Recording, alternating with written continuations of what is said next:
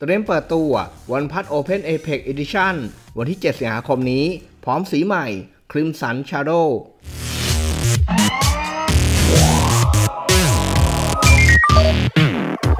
ล่าสุดทาง OnePlus ก็ได้เผย teaser เตรียมเปิดตัวสมาร์ทโฟนจอพับรุ่นอัปเกรด ในวันที่ 7 สิงหาคมนี้แล้วครับ ซึ่งใช้ชื่อว่า OnePlus Open Apex Edition ครับ โดย OnePlus Open Apex Edition นี้ จะมาพร้อมกับสีแดงใหม่ ที่มีชื่อว่า Crimson Shadow ถึงแม้ว่า OnePlus ยังไม่ได้ให้รายละเอียดเกี่ยวกับเวอร์ชั่นใหม่นี้ แต่คาดว่า Apex Edition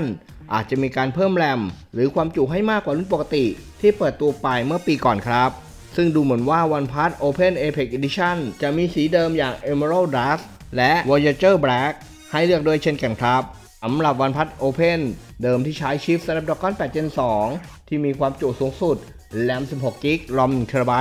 ให้แบตเตอรี่มาที่ 4,805 มิลลิแอมให้กล้องหลัง 3 ตัว ที่พัฒนาร่วมกับ Hasselblad ความละเอียดสูงสุด 64 ล้านพิกเซล ส่วน Apex Edition นี้จะอัปเกรดอะไรขึ้นมาบ้างนั้น เราคงต้องรอดูวันที่ 7 สิงหาคมนี้แล้วครับ